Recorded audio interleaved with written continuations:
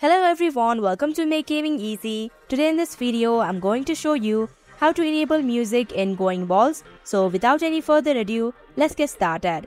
First of all, click on the settings icon in the top left corner. Here you can see that the music option has been disabled.